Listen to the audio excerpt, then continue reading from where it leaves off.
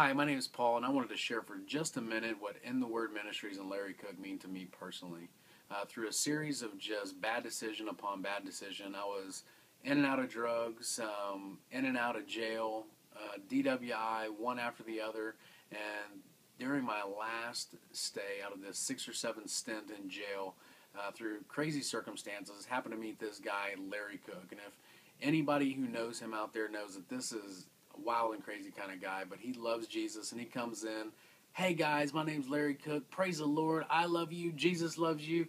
And I'm going to share Jesus with you today. Well, he did that, and uh, everything he said just kind of really pierced through that day it was really the Holy Spirit speaking through him because I felt like I was the only person in the room that day, and he kind of pierced through that exterior shell for me.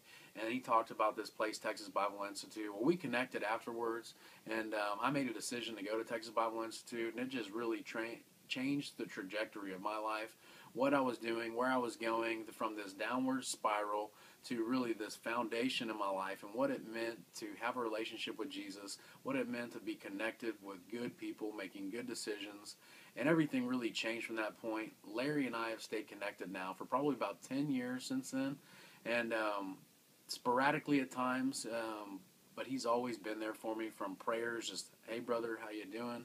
Uh, keeping me connected, keeping me plugged in, keeping me accountable, and um, even a few years ago, we, we got together and, and we launched a home Bible study in my house. Had about probably 10, 12 people coming uh, for a series of months. Really awesome. Just some great fruit and great accountability that came from that.